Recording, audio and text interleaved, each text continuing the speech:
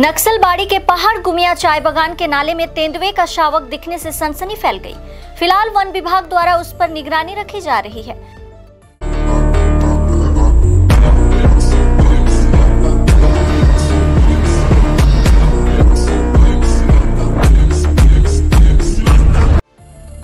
बताया है कि चाय बागान में चाय की पत्तियाँ तोड़ने के दौरान श्रमिकों ने नाले में तेंदुए के उक्त बच्चों को देखा। इसके बाद घटना की जानकारी वन विभाग को दी गई। खबर मिलते ही बागडोगरा रेंज, एलिफेंट, क्वाइट और जम्बू ट्रूप्स के कर्मचारी मौके पर पहुँचे।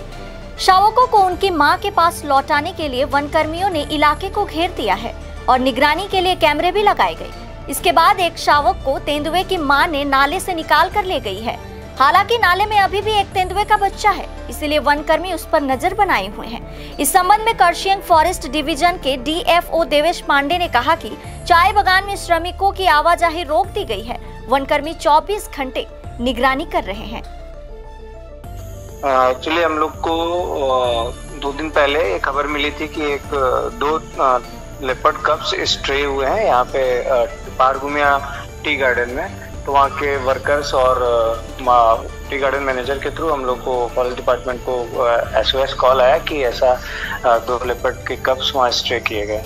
तो फिर हमने जम्बो ट्रूप्स जो एक एनजीओ है वाइल्ड लाइफ के लिए काम करता है along with forest staff of elephant squad और बागडोगरा रेंज दोनों रेंज और जम्बो ट्रूप्स के साथ मिल करके हमने वहाँ पे कैमरा सेटअप किया। और वो पूरा एरिया कॉर्डन ऑफ़ किया ताकि ह्यूमन डिस्टरबेंस ना हो, ताकि ये जो लेपर्ड का है, वो फिर से रीयूनियन हो पाए और उसको उठा करके, जो स्ट्रेट कब्स हैं, उनको उनकी माँ ले जाए।